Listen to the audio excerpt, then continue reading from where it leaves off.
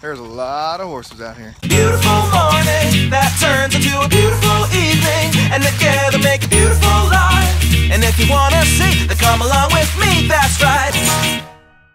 Hey, what's happening? It's your boy R. Alan Ingalls. Good morning. I am on my way to the St. Jude Trail Ride. I'm covering the event for VIP Magazine. It is 8:30 a.m. and I think this is the earliest that I have ever been up on a Saturday morning for VIP. I'm getting some great photos here at the 2014 St. Jude Trail Ride. There's a lot of horses out here. All right, so it's not even 9.30 yet, and I'm already done photographing this event for the day. It's the earliest that I have ever been done with a VIP event. I don't even think I've started a VIP event as early as I'm finishing today's. So it's about lunchtime, and I've been working my balls off ever since I got back from the St. Jude event. I've been writing the article, processing photos, and typically I don't actually eat lunch. I just work throughout the day on the weekends when there's not a structure to my day. My wife knows this, so Krystal made me a peanut butter and banana sandwich. Thank you, baby. And it's toasted too. I'm not filming you, baby. I'm filming me. Wanna come see? Alexis, come here.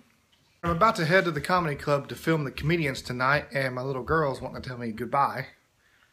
Goodbye.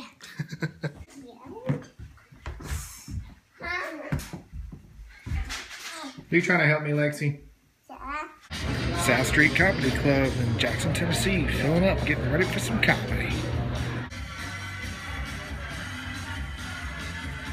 I've made it home from another hilarious night at the comedy club. Tonight was an all-female comic show, and there were comics with names like Miss Vivacious and Happy Johnson. Just the names alone are funny. The MC of the show, Christy Eidson, made a hilarious reference to Motley Crue tonight. So in honor of that, the song of the day today is Girls, Girls, Girls by Motley Crue. You should be lookout for the Girl on Girl comedy tour coming to you. Check them out at girlongirlcomedy.net. And as Christy mentioned, don't forget the comedy part, otherwise you get a whole different kind of website. Well, I'm going to hit the sack now, guys. Good night. See you tomorrow.